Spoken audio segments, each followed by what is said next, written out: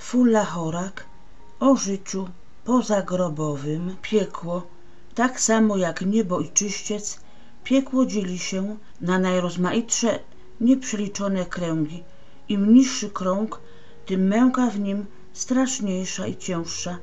Potępiona dusza wie o całej wielkości, mocy i piękności Boga i ma równocześnie świadomość, że go nigdy nie będzie oglądać. Wie, że cierpienie jej jest wieczne i że nic męki tej nie ukoi i nie złagodzi. Pali ją niegasnący ogień pragnienia i tęsknoty za szczęściem, które nigdy nie będzie jej udziałem. Ogień ten pożera i trawi potępioną duszę, ale jej nigdy nie strawi i nie zniszczy. Jakieś straszliwe, nieubłagane nigdy czai się ze wszystkich stron. Potępiona dusza ma pełne zrozumienie własnowolnie poniesionej straty i pełne zrozumienie sprawiedliwości kary, która ją spotkała. Nie może kochać Boga, choć wie o Jego mocy i doskonałości. Nie może czuć ani skruchy, ani żalu. Uczucia te sprawiłyby jej ulgę, stwarzałyby wrażenie, że czymś przecież spłaca Bogu dług zaciągnięty wobec Jego miłości. Jedynie uczucia negatywne są jej dostępne.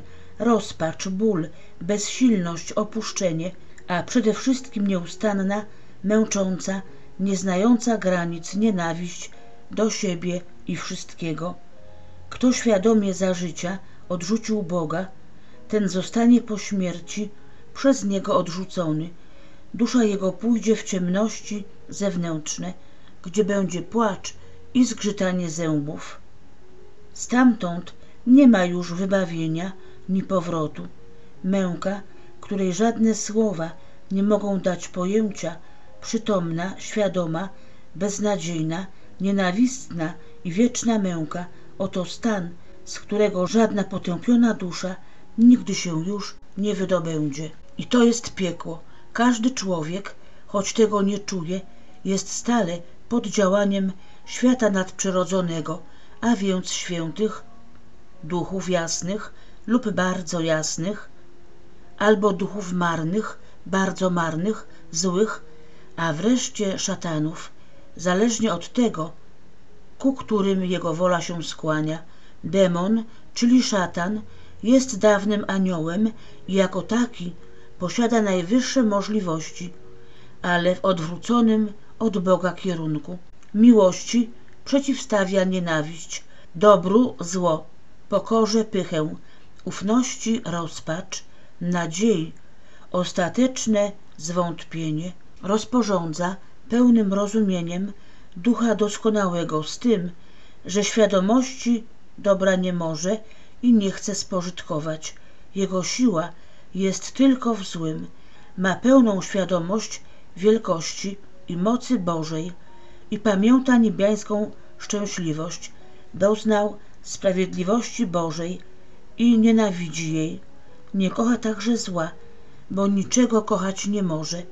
Jest pysznym, a musi ulegać woli Najwyższego, która ogranicza i do pewnego tylko stopnia dopuszcza jego działanie. Niewypowiedziane cierpienie sprawia mu myśl o doskonałości Bożej, o której wie, a sądzi równocześnie, że ją podkopie pełnieniem zła, którego nienawidzi też. Nie ma w nim miejsca na żadne inne uczucie. Nienawidzi własnej nienawiści, tak jak nienawidzi samego siebie. O straszliwej sile tej nienawiści nic nie może dać pojęcia, tak samo jak o rozmiarze jego cierpienia. Wie też, że cierpieć będzie przez całą wieczność, że nie może być dla niego ratunku. Ma pełną świadomość zła i własnej winy wobec najwyższej potęgi, a przecież radby z zemsty i nienawiści całą ludzkość ściągnąć w bezdeń cierpień i nieszczęścia, w jakiej sam od wieków i na wieki się męczy. Całą moc swego potężnego działania wytęża w tym kierunku. Gdyby jednak ludzie wiedzieli, jak bezgraniczną pogardę czuje dla człowieka, któremu uległ, jak go nienawidzi za jego słabość, nikczemność, uległość i głupotę, jakże okrutnie, gdy tylko cel swój osiągnie, znęca się potem nad duszą. Demon bowiem przed obliczem Boga z lęku jest sprawiedliwy, wobec człowieka jednak żadna sprawiedliwość go nie wiąże. Istnieją wśród demonów duchy potężniejsze i słabsze. Bardzo rozległa hierarchia jest w tym świecie ciemności. Każdy szatan ma swój odmienny charakter, swoją specjalność. Najczęściej jest przedstawicielem jakiejś jednej namiętności, jest jakby ministrem piastującym odmienną tekę zła i ma na swoje usługi cały departament wyszkolonych i oddanych podwładnych. Bardzo rzadko i tylko w wyjątkowych wypadkach szatan sam osobiście, jeśli tak można powiedzieć, pracuje nad zgubą jakiejś duszy, zwykle, gdy sobie czyjąś duszę upatrzy, posyła najpierw duchy marne, aby mu niejako przygotowały grunt, po nich wysyła mocniejsze i coraz gorsze i dopiero w chwili, gdy człowiek jest najsłabszy i najbardziej chwiejny, zbliża się do jego duszy sam. Jest to moment, w którym człowiekowi pierwszy raz przychodzi na przykład myśl o zbrodni, jedna krótka chwila, błysk i szatan znowu się cofa. Człowiek jest zaskoczony, przerażony, pozbawiony na czas pewien orientacji. Prostym odruchem strachu gotów się w takiej chwili cofnąć, aż po myśl o Bogu. Do tego nie można dopuścić. Zadaniem duchów marnych będzie tym razem szybkie osłabienie wrażenia, które wywoła podsunięta przez szatana myśl. Jeśli człowiek da im posłuch, po pewnym czasie zacznie bagatelizować wrażenie wywołane myślą o zbrodni, czasem nawet z niej kpić i powoli, tym właśnie narzuconym podejściem do sprawy, rozbrojony i pozbawiony czujności, zaczyna do myśli tej nawykać. Kiedy więc szatan zbliży się do niego po raz wtóry z gotowym już planem zbrodni, zastaje człowieka tak oswojonego z tą możliwością, że nie zachodzi już obawa odruchowego odwrotu. Zrobiwszy swoje, szatan cofa się znowu, zostawiając teraz duszę pod stałą opieką całej gromady duchów złych. One to, jak termity, pracowicie, a nieznacznie podkupują fundament, drążą wewnętrznie całą budowlę moralności człowieka, póki nie legnie w gruzach. Tylko w wypadkach, gdyby groziło niebezpieczeństwo, że człowiek przecież się opamięta i otrząśnie, jeżeli zaczyna się wahać, niepokoić, jeżeli zatruwane sumienie przez jakiekolwiek działanie czy wpływ przychodzić zaczyna do głosu, szatan zjawia się po raz trzeci. Jeśli trzeba, dobiera sobie wtedy do pomocy szatanów o innych specjalnościach, zwołuje całe czeredy duchów złych i przypuszcza atak generalny. Gdy na skutek czyjejś modlitwy czy innego działania przez łaskę spotka szatana porażka, cierpi on tak, jak cierpią duchy jasne, gdy widzą upadek człowieka, który dotąd z opieki ich korzystał. Cierpią z szatanem wszystkie wplątane w ten spisek złe duchy. Szatan, któremu się gra nie powiodła, traci na swej sile tak samo, jak święty zyskuje większą chwałę w niebie, gdy pomoże komuś wydźwignąć się z grzechu. Jeżeli w owym generalnym ataku szatan opanuje człowieka przez jakiś czas jeszcze, aby go w grzechu umocnić, stwarza mu warunki życia możliwie sprzyjające rozwojowi zła. Dopiero gdy człowiek przekroczy pewną granicę, spoza której nie umie się już najczęściej wycofać, szatan odstępuje go i oddaje na pastwę rozpaczy i samotności. Dobre duchy dawno go już opuściły, a złe widząc, że im się już tak nie wymknie, dręczą bez miłosierdzia bezbronną, zdaną na ich łaskę i niełaskę ofiarę. tak jak przez całą wieczność dręczyć ją będzie potem myśl o dobrowolnym upadku w zestawieniu z jasną świadomością, że tylko od jej woli zależał wybór innej do prawdziwego i wiecznego szczęścia prowadzącej drogi. Każdy grzech śmiertelny, pierwszy błysk grzesznej myśli, pochodzi więc wprost od szatana. Duchy złe i marne rozdmuchują ją tylko w człowieku. Przez ich działanie szatan, o ile go człowiek na czas nie odepchnie, osłabia w nim coraz bardziej dążenia duchowe na korzyść spraw materii. Każe złym duchom rozpętywać w nim rządzę użycia, utwierdzać go w pragnieniu rafinowanego komfortu dla ciała, podsycać ambicję, pchać niepowstrzymanie w nieograniczone jakoby możliwości doskonalenia techniki wszelkiego gatunku, byle mu tylko nie zostawić czasu na myśl o duszy. Demon jako motor i koncentracja wszelkiego zła nie pozwoli spocząć człowiekowi, tak samo zresztą, jak sam nigdy już nie zazna spokoju. Raz jeszcze osobiście jawi się szatan przy człowieku, którego uważa za swego. Czasem zdarza się, że największy grzesznik w ostatniej chwili życia opamięta się jeszcze. Przerażony własną winą, gotów wszystko odwołać, wszystko cofnąć, gotów żałować i przepraszać. Wtedy szatan, nie chcąc dopuścić swej ofiary do aktu doskonałego żalu, który mógłby całą jego robotę przekreślić, robi ostatnią próbę. Chce człowieka w tej rozstrzygającej chwili pogrążyć w rozpaczy, w zwątpieniu w łaskę Bożą, chce mu, jak to pielcowi, przywiązać u szyi najcięższy kamień grzechu przeciw Duchowi Świętemu, aby go zgubić ostatecznie. A jeśli mu się to nawet nie uda, jeśli człowiek wzbudzi w sobie żal doskonały lub odprawi spowiedź, szatan w dużej mierze cel swój, opóźnienie przyjścia Królestwa Bożego na ziemię, osiągnął już i tak niestety.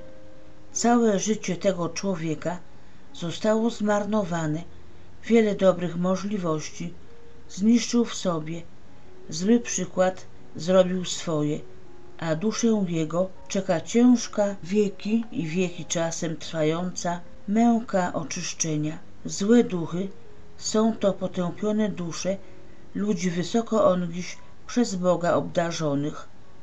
Są też dlatego może i silne w swym działaniu, jeśli wyczują w człowieku najlżejszą choćby dobrowolną skłonność ku złemu. Także, gdy ktoś się bardzo zastanawia, którą obrać drogę, najchętniej wtedy służą mu wygodną radą, korzystając w ten sposób z jego chwiejności. Duchy złe, jako duchy wyższe w swoim złym gatunku, działają świadomie, umiejętnie, celowo, ale podobnie jak szatan, rzadko kiedy zajmują się słabym i łatwo ulegającym człowiekiem. Zostawiają go duchom marnym lub bardzo marnym, które sobie z nim łatwo poradzą, przekazując go duchom coraz niższym, aż do poziomu, gdzie się tak czy owak staje sługą demona. Zły duch działa więc najczęściej w pobliżu ludzi mocnych, zdolnych, o dużych możliwościach, ludzi, którzy raz we władzę, mas się oddawszy, mogą zdziałać wiele złego na świecie, a tym samym pracować z nim razem dla Królestwa Ciemności. Jakże umiejętnie, z jaką znajomością psychologii, skłonności i dziedzicznych obciążeń umie zły duch zdobywać takiego człowieka, jakże mu wtedy pomaga, jakże o niego dba, jakże mu wszelkie przeszkody potrafi z drogi usunąć. Tym też niejednokrotnie można sobie tłumaczyć fakt, że ludziom złym zazwyczaj tak dobrze powodzi się na świecie. Klechdy, legendy podania i bajki zawierają czasem o wiele więcej w poezji przybranej prawdy i mądrości, niż się na pozór zdaje. Owym często w bajkach spotykanym człowiekiem, który w zamian za oddanie diabłu duszy wzbogacił się niespodzianie, jest każdy brudny spekulant, każdy wyzyskiwacz, każdy zresztą, kto nieczystą i nieuczciwą drogą zdobył swój majątek. Myli się taki, sądząc, że to swojemu sprytowi, szczęśliwej ręce czy szczęśliwej koniunkturze jedynie zawdzięcza powodzenie. Jedni z własnej winy i dobrowolnego zaniedbania, nie zdając sobie jasno sprawy, komu służą i sądząc, że robią to właśnie, czego sami pragną, idą tam, dokąd ich zły duch prowadzi. Inni, świadomi i z wolnego wyboru źli, robią wszystko, co im zły duch podsuwa, w przekonaniu, że będzie im za to nadal i we wszystkim jednakowo pomocny. Na opiekę złego ducha liczyć mogą jednak ludzie tylko do chwili spełnienia tego, czego od nich piekło żądało i do czego ich mogło użyć. Zepchnięci niżej pewnego poziomu, skąd zazwyczaj już nie umieją się wydźwignąć, stają się najnędzniejszymi sługami ciemnych sił na wieczność całą. Tak więc człowiek zły, który twierdzi, że go żadne wierzenia nie krępują, ani żadne więzy nie wiążą i że jest wolny i swój, dawno już stał się niewolnikiem najokrutniejszego Pana. Zły duch, w którego mocy się znajduje, zaciera w nim wszelką myśl o życiu przyszłym, umacnia fałszywe przekonanie, że ze śmiercią wszystko się kończy, aby ofiara przerażona tym, co ją czeka, nie wyrwała mu się w ostatniej chwili. Gdy taki człowiek na czas przypomniał sobie, że stworzyła go moc najwyższa dla ważnego celu, że życie jest tylko przedsionkiem lepszego świata, próbą zawiłą nieraz zagadką, którą tylko dobra wola może rozwiązać i że nie wolno gwałcić zuchwale i bezmyślnie praw tej najwyższej potęgi, by nie doznać potem jej sprawiedliwości, jakżeby się rozpaczliwie wyrywał i bronił. Niestety, zasłona, którą pozwolił sobie rozwiesić przed oczyma, jest tak gęsta, że jedynie już tylko bardzo wielki, świadomy wysiłek z jego strony może ją usunąć. Niestety, zasłona, którą pozwolił sobie rozwiesić przed oczyma, jest tak gęsta, że jedynie już tylko bardzo wielki, świadomy wysiłek z jego strony może ją usunąć. Duchy marne, czy bardzo marne, są to najniższe, potępione dusze ludzi mało uposażonych, którzy z lenistwa, tkwiąc za życia w mdłej przeciętności, z własnej winy i woli, przez zaniedbanie otrzymanych darów, nie tylko nie doszli do właściwego sobie poziomu doskonałości, ale całe życie pełniąc bierne, ale całe życie pełniąc bierne zło, najmniejszego nawet trudu, nie zadali sobie w tym kierunku. Świadomość ich i działanie jest bardzo ograniczone i są dlatego, jeśli to można tak określić, nieodpowiedzialne. Jest w ich działaniu coś przypadkowego. To też człowiek, który pozwoli im się opanować, jest pełen wewnętrznego niezdecydowania i niejasności.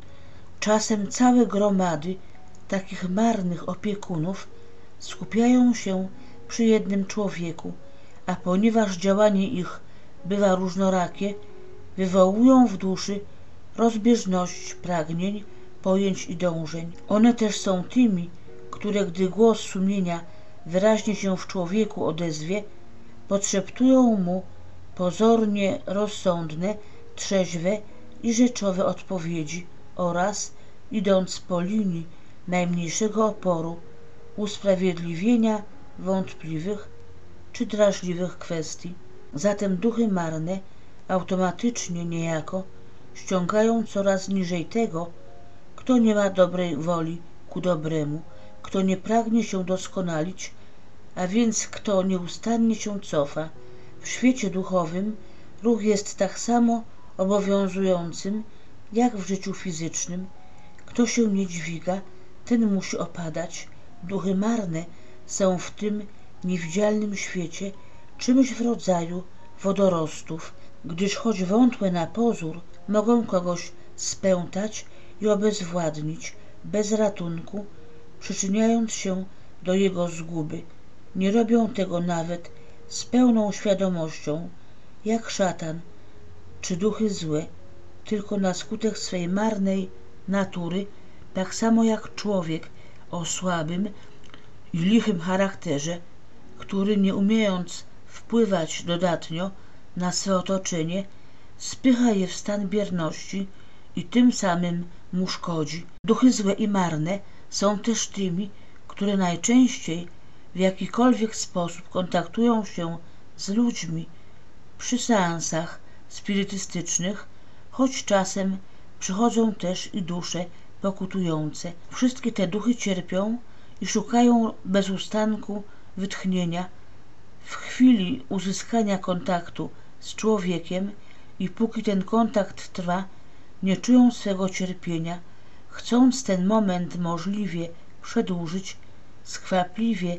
odpowiadają na wszystkie zadawane im w czasie seansu pytania. Duchy złe z pełną świadomością wprowadzają wtedy ludzi w błąd, marne zaś, których świadomość jest ściśle ograniczona, mówią co bądź i starają się byle czym ludzi zainteresować, byle tylko jak najdłużej odczuwać ten rodzaj kontaktu z żywymi, który im przyniósł ulgę i wytchnienie.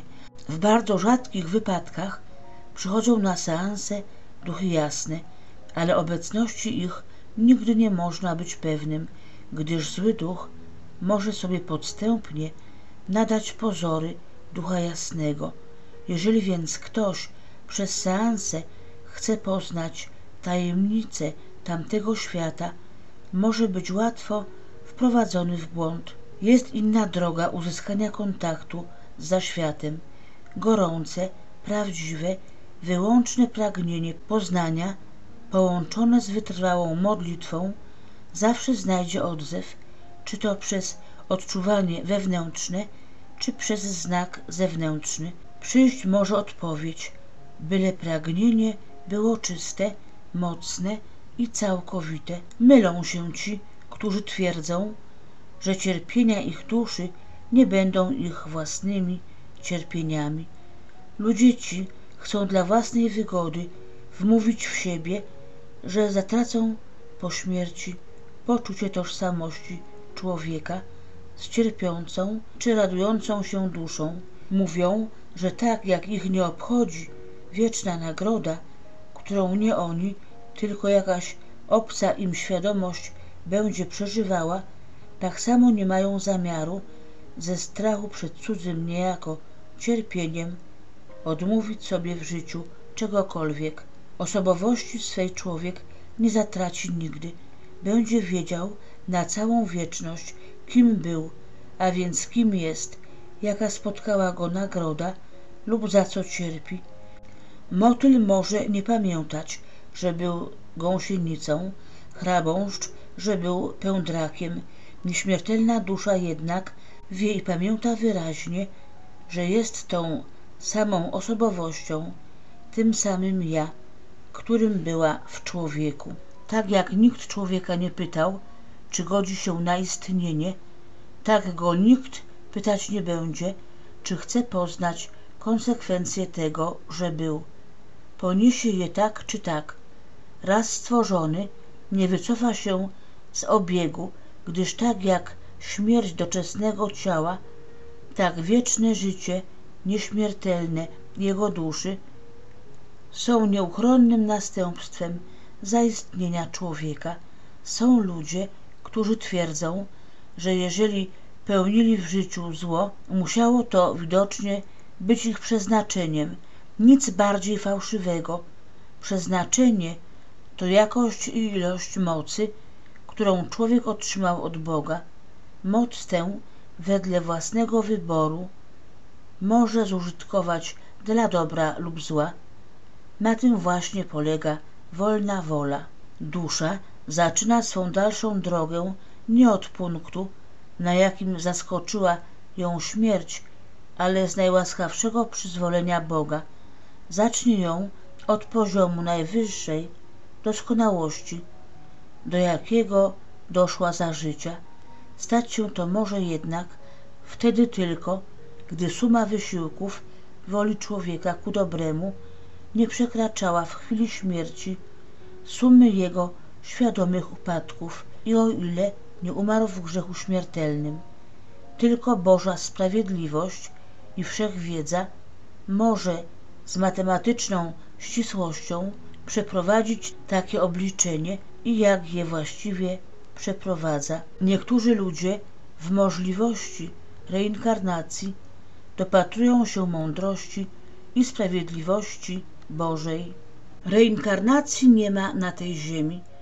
Dusza już nigdy nie wraca w innym ciele na ziemię. Każdy człowiek w ciągu jednego życia może i powinien spełnić to, czego od niego Bóg oczekuje, to znaczy świadomie spożytkować wszystką otrzymaną moc dla uzyskania przeznaczonego mu stopnia szczęśliwości wiecznej, bez względu na stanowisko społeczne, zdolności czy kompletny ich brak, bez względu na zdrowie, kalectwo, otoczenie, środowisko, okoliczności i warunki, ma człowiek obowiązek w miarę przyznanych mu możliwości pełnić dobro. Tylko różnicą obdarzeń reguluje się różnica Bożych wymagań. Od nikogo nie zażąda Bóg więcej ponad to, co człowiek może mu dać. Każdy jednak ma dać mu wszystko, co może. Zatem najwięcej winien Bogu człowiek zdolny, zdrowy i bogaty, najmniej upośledzony i biedny. Nawet kretyn otrzymuje dość światła, choćby jeden błysk świadomości, by mógł, jeśli go dobrą wolą podchwyci, zdobyć bez czyśćca ów przeznaczony mu od wieków najwyższy, a ściśle do pojemności jego ducha przystosowany stopień szczęśliwości wiecznej. Nigdy potępienie żadnej duszy nie leżało w planie Bożym. Bóg, jako że jest wszechwiedzący, wie wprawdzie naprzód, która dusza będzie kiedyś wedle własnowolnych uczynków, a więc z własnego wyboru, zbawiona czy potępiona. Owa świadomość Boża w żadnym jednak stopniu na wolną wolę człowieka nie wpływa. Przedwieczny plan Boży ustalił jasno i niezachwianie, na jakiej wysokości nieba, jakie niektóre dusze głosić mają Jego chwałę. Dając każdej nowo stworzonej duszy wszystkie odpowiednie uposażenia, łaski i całą potrzebną moc, przeznaczył jej już tym samym to, a nie inne miejsce w niebie, żądając od niej w zamian tego, a nie innego tonu w orkiestrze swojej chwały. Od wyboru jednak człowieka zależy, czy jego dusza będzie właśnie tą, która weźmie ów brakujący, Bogu potrzebny, a sobie przeznaczony ton. Bóg daje szansę każdej duszy, ale nie może swoich boskich planów i swoich wiecznych celów uzależnić od tego, jak działający z wolnej woli człowiek postąpi. Bez względu na to jednak dla każdej duszy jest od wieków przygotowane miejsce w niebie, gdy przez świadomy wybór zła dusza właściwego dostępnego sobie szczytu osiągnąć nie zechce, zostaje potępiona. i znajdzie się w głębokości piekła, odpowiadającej mrokiem i męką, światłości i szczęściu, które odepchnęła. Osiągnie zatem i ona swój punkt szczytowy, ale w odwróconym od jasności kierunku, jakby opacznie w wodzie, odbity szczyt górski, który im wyższy jest w rzeczywistości, tym niżej szukać go trzeba w odbiciu. A Bóg, jako że jest wszechmogący, na miejsce potępionej duszy stwarza inną, w tym samym stopniu uposażoną, mającą te same możliwości po to, by mu kiedyś tamto puste, od wieków na taką duszę czekające miejsce wypełniła sobą. Nie może bowiem zabraknąć ani jednego dźwięku w wielkiej symfonii dusz, mających głosić chwałę Bożą na wieki. Dusza, stanąwszy na swym najwyższym poziomie, nic nie wie o istnieniu kręgów wyższych. Pojęcie szczęścia rozleglejszego nad to, które przeżywa, przechodzi jej rozumowanie. Widzi natomiast wszystkie kręgi pod sobą, może w nich działać i pomagać, tak jak może wstawiennictwem swym przed Bogiem wspierać za Jego zezwoleniem dusze w czyśćcu cierpiące i ludzi na ziemi.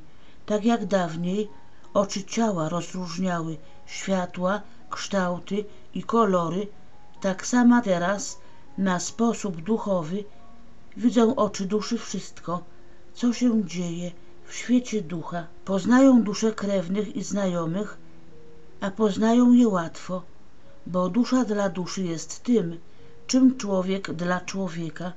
Każda zachowuje swój kształt, barwę i właściwości. Dusze ludzi, którzy mieli dążenia tej samej wysokości, będą razem w danym kręgu nieba. Nie sam poziom umysłowy, nie tylko krew i uczucia, jakie za życia serca ich łączyły, ale przede wszystkim dążenia duchowe będą o tym decydować. Stopień miłości Boga, napięcie woli, z jaką ku niemu dążyły, ilość i jakość wyrzeczeń, poświęceń i ofiar złożonych mu za życia, oto jedyne braterstwo, pokrewieństwo, spójnia, którą można tak silnie z drugą duszą się złączyć, aby ją nawet w wieczności odnaleźć. Rozłąka dusz ludzi kochających się na ziemi, gdyby im wypadło w dwóch innych kręgach trwać przez wieczność całą, nie będzie żadnej z nich mąciła pełni doznawanego szczęścia. Szczęście duszy bowiem polega tylko i wyłącznie na jej stosunku do najwyższej doskonałości i tylko pod tym kątem może patrzeć i odczuwać. Zatem pobliże duszy, w której miłość Boga nie byłaby rozżarzona do tej samej potęgi, sprawiłoby jej tylko ból, udrękę i niepokój, a szczęście wieczne musi być zupełne. Spojrzenie duszy zbawionej na ziemię jest przenikające, jak promienie rentgena. Poprzez materię dostaje się ono do duszy żywego człowieka i widzi ją taką, jaką naprawdę jest. Oczy duszy mają wtedy nieograniczony wgląd w taką drugą duszę. Spojrzenie to jest wtedy pozbawione wszelkich naleciałości uczuciowych, wszelkiej tendencji. Nie można się już co do nikogo łudzić, nikogo przeceniać albo niedoceniać, nikogo sądzić fałszywie. Niedoskonałe ziemskie uczucia nie mącą już i nie zaćmiewają tego spojrzenia. Dusza zbawiona, o ile jej Bóg na spojrzenie takie zezwoli, wie wszystko o duszy żywego. O ile człowiek, popełniając samobójstwo, działał w zamroczeniu, a zatem o ile nie jest w pełni za czyn swój odpowiedzialny, dusza jego dzięki doskonałej sprawiedliwości Bożej nie będzie potępiona na wieki. Musi jednak w żałośnie bolesnym, a bezużytecznym dla swej przyszłej szczęśliwości opuszczeniu odczekać taką ilość lat, jaka jeszcze człowiekowi do naturalnej śmierci brakowała. Potem dopiero przystąpi do odrabiania należnej jej i właściwej kary.